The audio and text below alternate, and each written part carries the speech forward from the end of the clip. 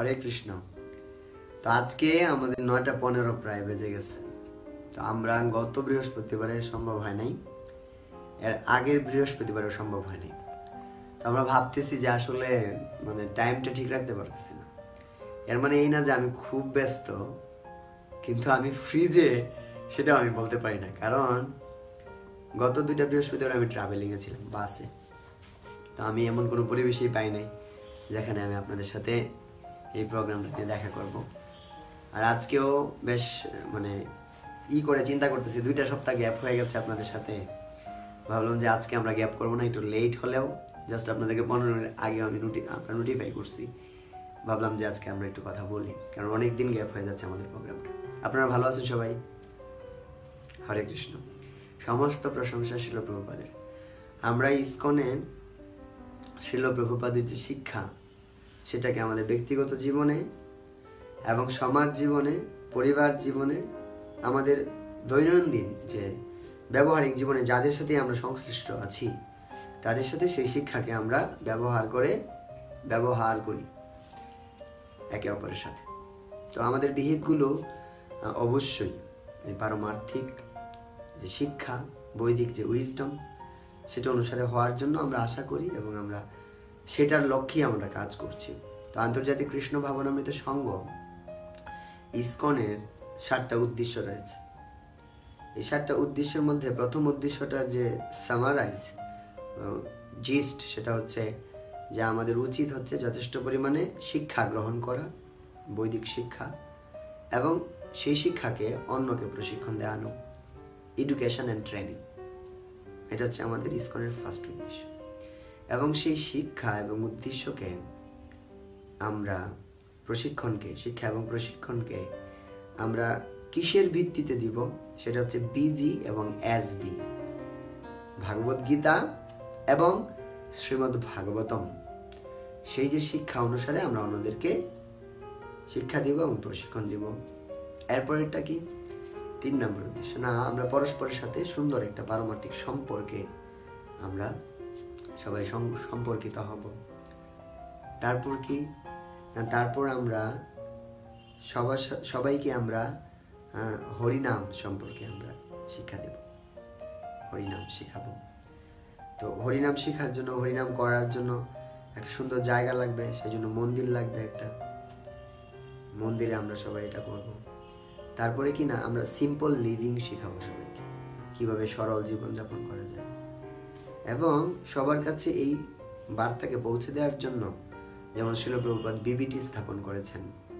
BBT যে গ্রন্থগুলো, সেগুলো প্রচার করার মাধ্যমে back to Godhead magazine প্রচার করার মাধ্যমে আমরা সবার কাছে সেই শিক্ষাটা পৌঁছে দেব।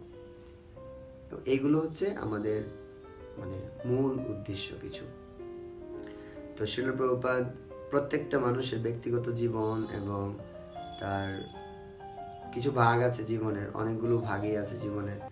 চাকরি জীবন আছে, পারিবারিক জীবন আছে, আধ্যাত্মিক জীবন আছে মানসিক একটা লেভেল আছে ইমোশনাল একটা পার্ট আছে জীবনের।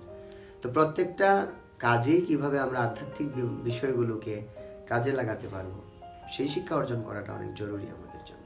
আমরা সাধারণত আমাদের সারাদিনের বিভিন্ন কাজে যখন যুক্ত থাকি তখন আমাদের কিছু এনার্জি এখানে কাজে লাগে। এবং সেই এনার্জিগুলোকে তিন ভাগে ভাগ করা হয়। যেমন ধরেন রজ, সত্য, তম। তো কখনো কখনো খুব তমগুণ কাজ করে, কাজ করতে ইচ্ছা করে না, ঘুম পায়। কখনো কখনো খুবই রাজসিক রজগুণ কাজ করে, খুব বেশি উদ্যমী। আবার কখনো কখনো খুব সাত্বিক ধীর স্থিরভাবে আমরা কাজ করি।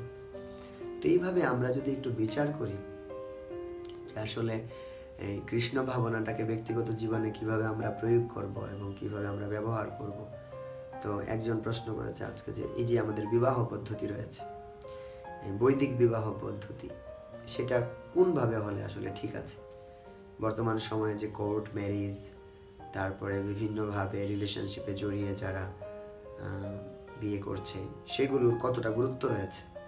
আর বৈদিক বিবাহে, বিবাহের সাথে সেটার কীরকম আমরা মানে একটা সাদৃশ্য এবং বৈসাদৃশ্য দেখাবো, কোনটা বেস্ট কোনটা বেটার তো অ্যাকচুয়ালি আমাদের লাইফে আমরা যদি একটু বিবেচনা করি, তাহলে আমরা দেখব যে আগের সময়ে কোনো বিবাহের কিন্তু কোনো বিচ্ছেদ খুবই কম ছিল। এবং আধ্যাত্মিক জীবনে সকলে চেষ্টা করেছেন যে কীভাবে আধ্যাত্মিক শক্তিকে, প্রশিক্ষণকে তারা সকলে কাজে লাগাবেন। এবং প্রত্যেকেরই একটা ট্রেনিং ছিল কিন্তু, বিবাহ নেওয়ার আগে। যেমন ভগবান শ্রী রামচন্দ্র বিয়ে করেছেন, এর আগে তিনি ব্রহ্মচারী আশ্রমে ছিলেন। ভগবান বশিষ্ঠ মুনির আশ্রমে উনি শিক্ষা গ্রহণ করেছেন।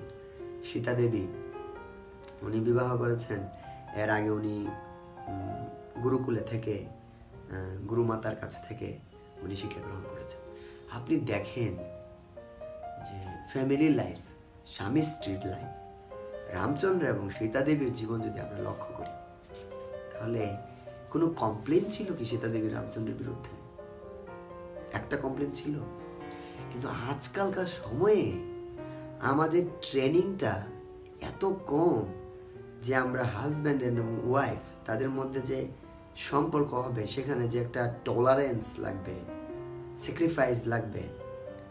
হাজব্যান্ড করতে পারে না স্যাক্রিফাইস ওয়াইফকে ওয়াইফ করতে পারে না স্যাক্রিফাইস হাজব্যান্ডকে তো হাজব্যান্ড অ্যান্ড ওয়াইফের স্যাক্রিফাইস যদি না হয়, তাহলে একটা সম্পর্ক কীভাবে চলমান থাকতে পারে? ভগবানও খুব চালাক। প্রথমত আমাদের একটা বডিলি অ্যাট্রাকশন থাকে ফিজিক্যাল অ্যাট্রাকশন যেটার জন্য কেউ কাউকে পছন্দ করে, বাহ্যিক সৌন্দর্য দেখেন। অনেক সুন্দর, অনেক সুন্দরী। এরপরে কিছুদিনের মধ্যে সেই যে ফিজিক্যাল অ্যাট্রাকশন সেটা কমে যায় হয়তো বা এরপরেই আবার দেখা যাচ্ছে একটা সন্তান উৎপন্ন হয়, তখন অ্যাট্রাকশনটা চলে যায় সন্তানের কাছে। তো তখন সন্তানের মাধ্যমে দুজনের একটা বন্ডিং তৈরি হয়। সন্তানকে বড় করতে হবে, তাকে সুশিক্ষিত করতে হবে, তাকে সমাজে একটা ভালো পজিশনে নিতে হবে। তো সেটা কেন্দ্র হয় সন্তান। প্রথমে কেন্দ্রটা থাকে অ্যাট্রাকশন রজগুণের প্রধানতম বৈশিষ্ট্যই হচ্ছে একটা জেন্ডার তার অপোজিট জেন্ডারের প্রতি অ্যাট্রাক্টেড হবে। শ্রীল প্রভুপাত শ্রীমদ ভগবদ গীতায় বলেছেন যে, বেশিরভাগই প্রায় অধিকাংশই রজগুণের দ্বারা প্রভাবিত মানব সমাজে। মানুষেরা এবং তাদের মধ্যে এই যে বিপরীত লিঙ্গের প্রতি যে আকর্ষণ, সেটাই এই জগৎকে চলমান করে রেখেছে। এই জড়জগতের কেন্দ্রবিন্দুই হচ্ছে এটা। কিন্তু তারপর ধীরে ধীরে আমরা দেখতে পাই যে তারা সন্তান বড় হলো, সন্তান কষ্ট দিচ্ছে, তখন একটু তাদের আধ্যাত্মিক জিনিসের দিকে অ্যাট্রাক্টেড হয়। আদারওয়াইজ যারা এখনও তাদের পরিবারে সব কিছু সুন্দরভাবে মোটামুটি চলছে, তারা আধ্যাত্মিক বা এই যে পারমার্থিক অনুশীলনের প্রতি যথা, যথাযথ মনোভাব তৈরি হয় না। তো এই যে আমাদের ছোটবেলা থেকে একটা ছেলে মেয়েকে বড় করা, তো বর্তমান সময়ের যে একটা স্ট্যাটাস হয়েছে সবার, যে এর আগেও আমি কিছু আলোচনা করেছি যে ছেলেরা, মেয়েরা, বাবা মার সামনে বসে বিভিন্ন মুভি বিভিন্ন সিরিয়াল দেখছে। এখানে অনেক আসলেই অনেকগুলো জিনিসই বাবা মার সাথে ছেলেমেয়েরা বসে চলে না দেখা। কিন্তু এটা দেখে দেখে সম্ভ্রম নষ্ট হয়।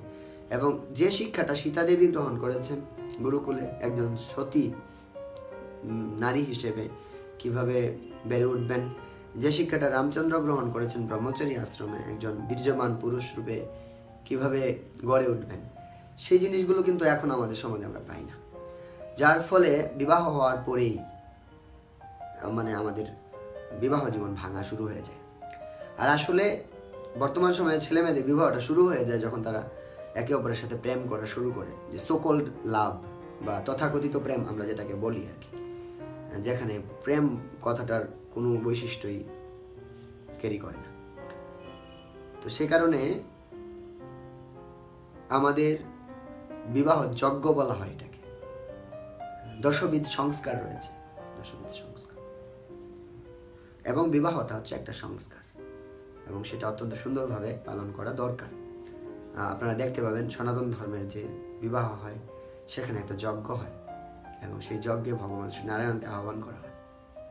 সমস্ত দেবতাদেরকে আহ্বান করা হয় এবং সমস্ত দেবতাকে সাক্ষী রাখা হয় এবং সেই দেবতাদেরকে সাক্ষী রেখে সেই যজ্ঞকে কেন্দ্র করে সাত পাক দেওয়া হয়। এখানে অবশ্য হাজব্যান্ডও থাকেন হাজব্যান্ডও থাকেন হাজব্যান্ডকে কেন্দ্র করে ওয়াইফ ঘুরেন, কিন্তু মূল উদ্দেশ্য বিষ্ণু কিন্তু। যজ্ঞ মানেই হচ্ছে যজ্ঞ বই বিষ্ণু, বিষ্ণুকে সন্তুষ্ট করা।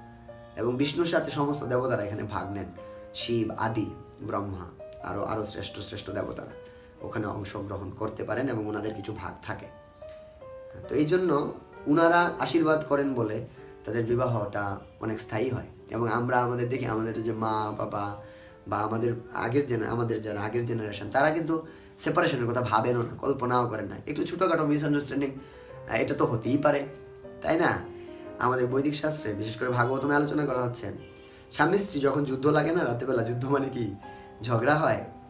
এটাকে আর হচ্ছে ছাগলের বাহাদুরি দেখায়।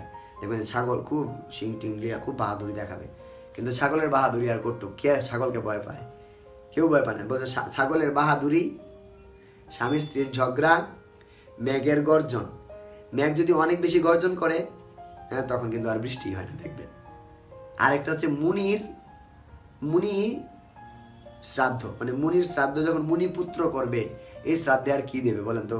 কিছু চিরা দেবে, দইও দিতে পারবে না। কারণ মুনির শ্রাদ্ধ, মুনি তো গরিব।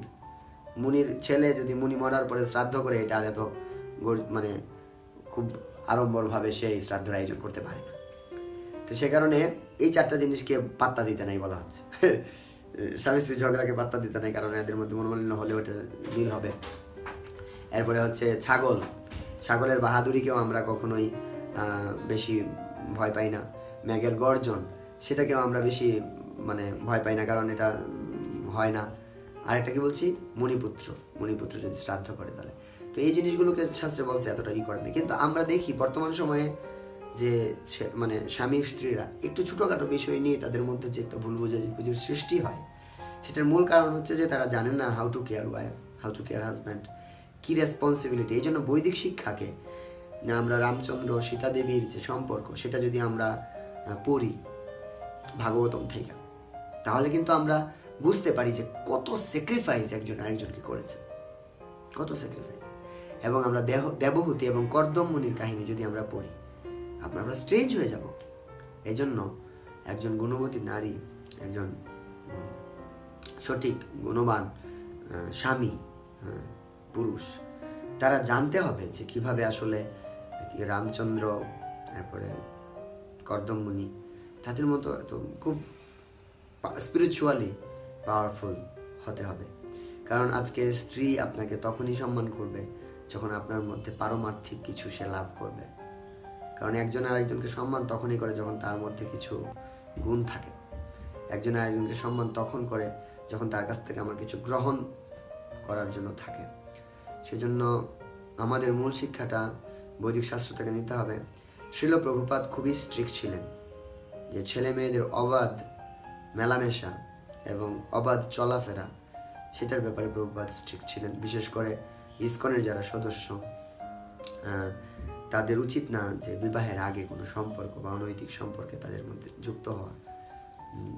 কোনো বাবা মা যদি চান, কোনো ছেলে মেয়ে তাদের মধ্যে ভালো আন্ডারস্ট্যান্ডিং থাকে, তাহলে পরিবার, পরিবারের মাধ্যমে গিয়ে তারা সুন্দর বৈদিক বিবাহ মাধ্যমে তাদের বিবাহ জীবনে প্রবেশ করতে পারেন।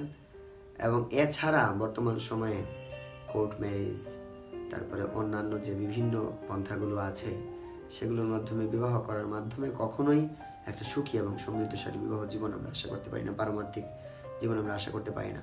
কারণ বিবাহের আগেই তাদের মধ্যে অনেক তিক্ততা দেখা দেয় এবং চারিপাশে যখন আমরা বিচার করি, তাহলে আমরা দেখতে পাবো যে কত রকম কিছু, তাদের মধ্যে এত ভালোবাসা থাকে।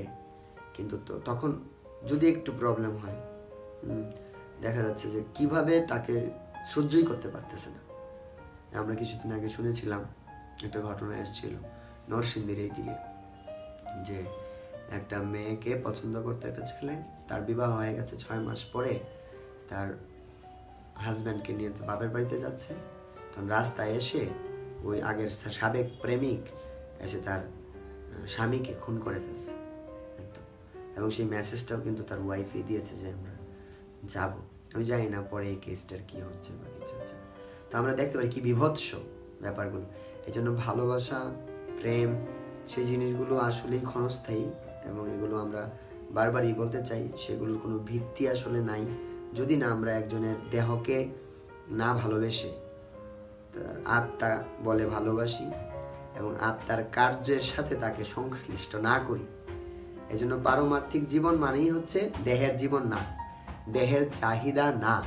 পারমার্থিক জীবন মানেই হচ্ছে একজনকে যথাযথভাবে যত্ন নেওয়া, সেটা অবশ্যই সোল থাকবে ফার্স্ট এরপরে আসবে মাইন্ড ইন্টেলিজেন্ট এরপরে আসবে ফিজিক্যাল ফিজিক্যাল কেয়ার এবং সব কিছু এখন দেখা যাচ্ছে যে ফিজিক্যাল কেয়ার কেয়ারটা ফার্স্ট থাকে।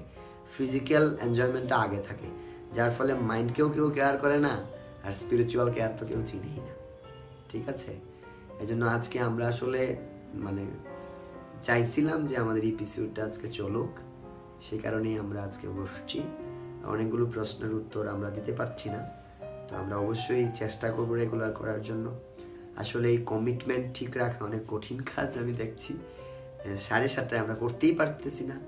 তো আপনারা ভগবানের কাছে প্রার্থনা করবেন আপনারাও আশীর্বাদ করবেন আমাদের জন্য যাতে আমরা প্রোগ্রামটিকে চালিয়ে নিয়ে যেতে পারি এবং শিল প্রভুপাদ এবং আপনাদের কিছুটা সন্তুষ্টি বিধান করতে পারি। সবাই ভালো থাকবেন কৃষ্ণ হয়ে থাকবেন। এবং আমাদের যে বাইশ এটা বাইশতম এপিসিউড আমাদের আগের প্রত্যেকটা এপিসিউড আমাদের youth forum ISKCON youth forum Sylhet YouTube চ্যানেলে আপলোড করা হয়ে গেছে। আপনারা সেগুলো দেখতে পারেন।